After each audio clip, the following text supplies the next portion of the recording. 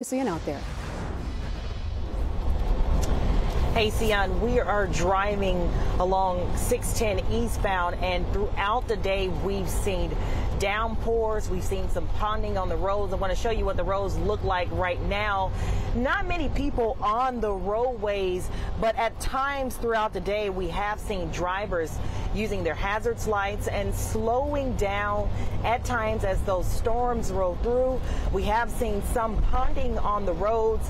And while this rain is helping cool down temperatures, it can certainly be an issue if you have plans this weekend for Labor Day. Now, I want to show you some TranStar video that we shot earlier today. This first one, take a look. This is I-45 at the North Freeway at FM 1960. You can see rain on the TranStar. In this next video, it's hard to see the roadways at the Tomball Parkway at Cypress Wood.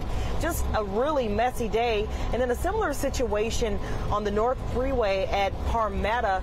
Just rain all day. And we also saw rain along the northeast, the northwest freeway and the North Freeway at I-10. So if you are going to be coming out, you want to make sure that you're being very careful and giving yourself some time and space because you could drive into some of these roads that, that have a little bit of ponding and you could be in an accident. We certainly don't want to see that, but we are going to continue to track these storms. Of course, meteorologists Justin Stapleton and Caroline Brown are in the studio tracking these storms as well, but you can find more information and watch these storms throughout this evening on our website at click2houston.com.